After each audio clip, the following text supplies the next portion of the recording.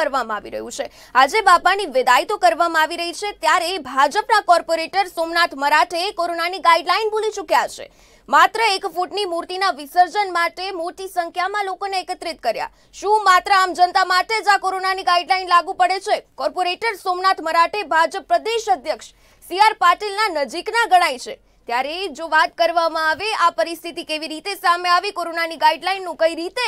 આ નેતાએ ઉલ્લંઘન કર્યું. સમગ્ર વિગતો આપશે અમારા સંવાદદાતા મયુર મિસ્ત્રી. મયુર, જે પ્રમાણે વાત કરવામાં આવે, આજે સમગ્ર રાજ્યભરમાં ગણેશ વિસર્જન કરવામાં આવી રહ્યું છે. ત્યારે દેશભરમાં બાપાની વિદાય તો કરવામાં આવી રહી છે. આ સાથે જો કે કોરોનાના કારણે જાહેરમાં પંડાલની આપણે ના પાડી દેવામાં આવી છે. છતાં પણ જે ભાજપના આજે કોર્પોરેટર છે, આ જે વ્યક્તિ છે, તેણે મોટી સંખ્યામાં લોકોને એકઠા કર્યા છે. શું છે આ અંગે જાણકારી?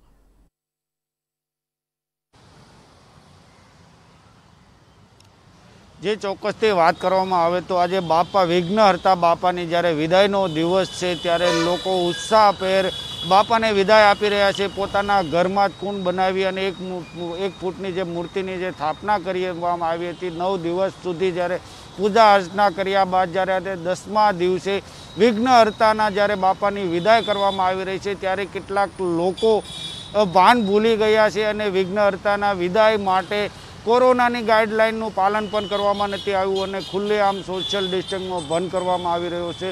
જેવી રીતે દ્રશ્યો સામે આવ્યા છે, વીડિયો વાયરલ થયા છે, તેમાં સાફપણે દેખાઈ આવે છે કે ભાજપના કોર્પોરેટર સોમનાથ મરાઠે દ્વારા મોટી સંખ્યામાં મહિલાઓ તેમજ સ્થાનિક લોકોને ભેગા કરી અને બાપાનું વિદાય વિસર્જન વિસર્જન માટેની તૈયારી કરવામાં આવી હતી અને સાથોસાથ મોટી સંખ્યામાં મહિલાઓએ આ કોરોનાની મહામારી વચ્ચે લેઝિમ ડાન્સ પણ કરી અને બાપાની વિદાય આપવામાં આવી. એટલે કહી શકાય કે જાણે ભાજપના નેતાઓને કોરોનાનો જરાક પણ ડર નથી ને કાયદો પણ લાગતો નથી. જી.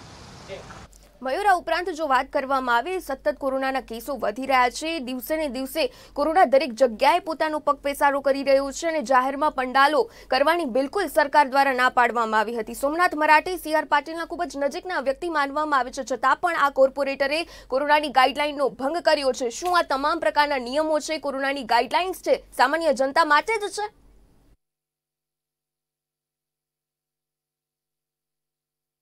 જે ચોક્કસથી વાત કરવામાં આવે તો જેવી રીતે કોરોનાની ગાઈડલાઈન હોય કે મનપાની ગાઈડલાઈન હોય, માત્ર ને માત્ર પ્રજા માટે જ નિયમો હોય તેવા અનેક મેસેજો પણ સોશિયલ મીડિયા મારફતે વાયરલ થઈ રહ્યા છે. કારણ કે જેવી રીતે સી આર પાટીલની રેલીનું આયોજન કરવામાં આવ્યું હતું, ત્યારે પણ જે સોશિયલ મીડિયા સોશિયલ મીડિયા મારફતે અનેક સવાલો ઊભા થયા હતા. કારણ કે સોશિયલ ડિસ્ટન્સનું જ્યારે આમ ભંગ થઈ રહ્યો હતો, જેને લઈ અનેક સવાલો ઊભા થયા. એટલે કહી શકાય કે હાલમાં જે કોરોનાની મહામારી ચાલી રહી છે, તેમાં ભાજપના નેતાઓને કોરોનાથી જરાક પણ ડર ન હોય તેવી રીતે બાપાની પણ વિસર્જનની પ્રક્રિયા હાથ ધરી રહ્યા છે. પરંતુ જેવી રીતે કોરોનાનો કહેર પણ સુરતમાં યથાવત છે, ત્યારે સોમનાથ, મરાઠે વહેલી સવારથી જ પોતાના પટાગણમાં મોટી સંખ્યામાં લોકોને એકત્ર કરી અને ડાન્સ સાથે સોશિયલ મે સોશિયલ ડિસ્ટન્સનો ભંગ કરવામાં આવ્યો હતો. આ સમગ્ર વીડિયો પણ વાયરલ થયો છે. તેને લઈ અનેક સવાલો ઊભા થયા છે સોશિયલ મીડિયા મારફતે પણ અનેક સવાલો ઊભા થયા છે. કારણ કે જેવી રીતે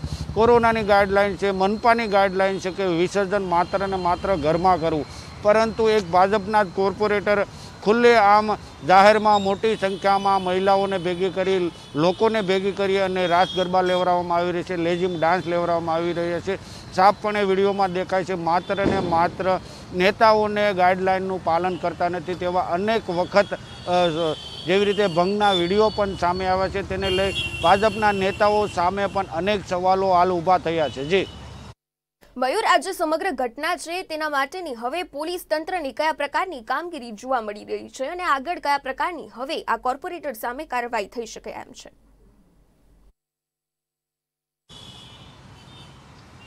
જે ચોક્કસથી વાત કરવામાં આવે તો વારંવાર પોલીસ પણ પેટ્રોલિંગ કરી રહી હતી ને ઘરમાંથી બહાર ન નીકળવા માટેની અપીલ પણ પોલીસ દ્વારા કરવામાં આવી રહી છે. પરંતુ એક ભાજપના કોર્પોરેટર સોમનાથ મરાઠે જે સી આર પાટીલના ખાસ ગણાય છે અને તેઓ સાથે જ રહેતા હોય તેવું લાગી રહ્યું છે. પરંતુ જેવી રીતે ખાસ ગણાતા હોવાને કારણે જાણે કોલેજનો પણ જરાક પણ ડર ન હોય તેને લઈ સોશિયલ ડિસ્ટન્સનો પણ ભંગ કરવામાં આવી રહ્યો છે. એટલે કહી શકાય કે લોકો દ્વારા પણ અનેક સવાલો ઉઠવામાં આવી રહ્યા છે.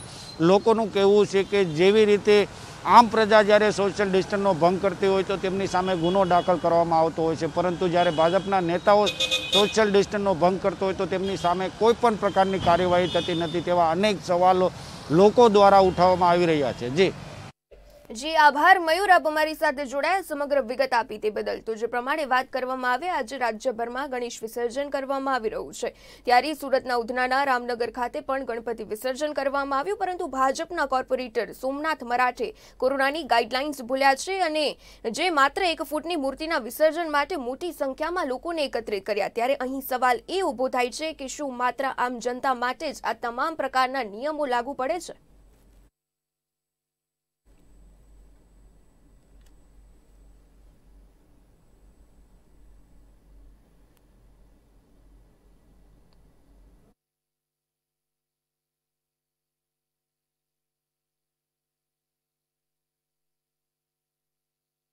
આગળ ગીર સોમનાથની વાત કરવામાં આવે તો ગીર સોમનાથને મેઘરાજાએ ઘમરો